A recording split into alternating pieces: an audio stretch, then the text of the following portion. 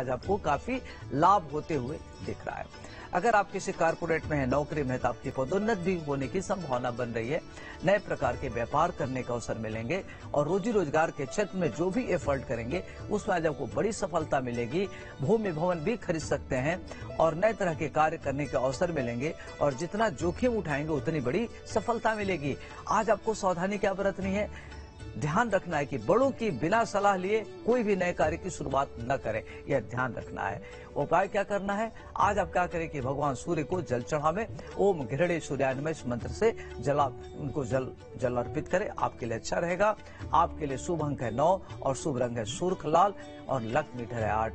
हरे कृष्ण। अब हम बात करते हैं वृक्ष राशि की। तो जो वृक्ष राशि के जातक